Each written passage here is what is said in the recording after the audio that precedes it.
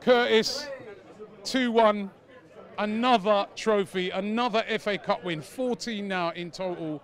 And this one was a great one, um, especially for the manager Arteta and Aubameyang to see him lift that trophy. I mean, wow, that was an incredible performance.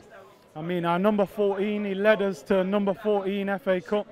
Historic moment, man. We got to pay him whatever he wants. That second goal is one of them moments where, in like five, ten years, that's going to be on adverts. Because, you know, I thought Zouma was like dancing on ice or something. The man was spinning around it.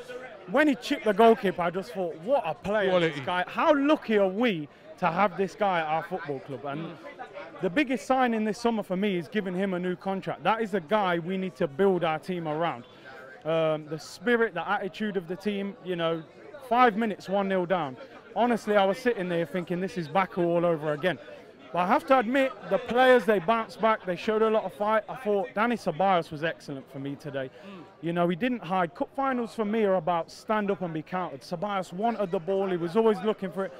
Pepe's had, you know, up and down season, but today he stood up, had Alonso on toast for me. You know, he mm. set the second goal up, he was dangerous the whole game.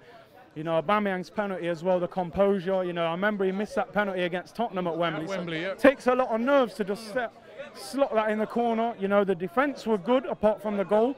And you know, Arteta, I questioned Arteta at times this season. I'm not going to say he's the be all and end all, but he showed a spirit and put it into this team. And mm. you can see that they believe in what he wants. If you come in as a new manager, the first thing you want to do, right, is aim towards winning trophies and to do it so quickly. You know, in your fir- well, not even you can't even call it a full season.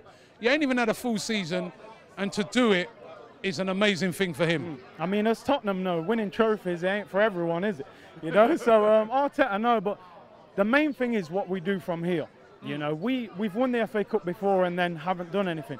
The Kroenkes have to back Arteta this summer. You know, we're being linked with Partey and Coutinho and all these players.